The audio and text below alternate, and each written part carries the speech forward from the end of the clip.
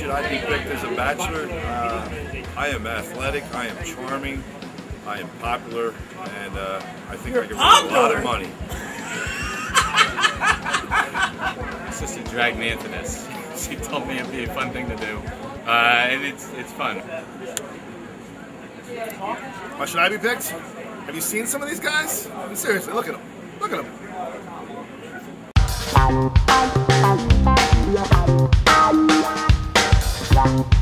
Bye.